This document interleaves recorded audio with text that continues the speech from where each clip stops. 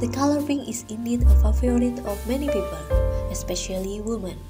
Pink is a romantic color, soft, comfortable, and warm. No wonder why many people want to make a beautiful and sweet pink room design. The pink color itself have a variety of shades, and of course, it will be very suitable.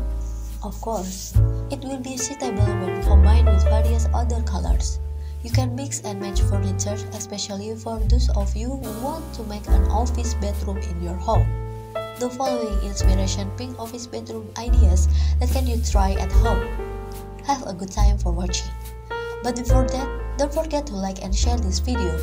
If you have not subscribed yet, please subscribe and activate the bell button now. Thank you.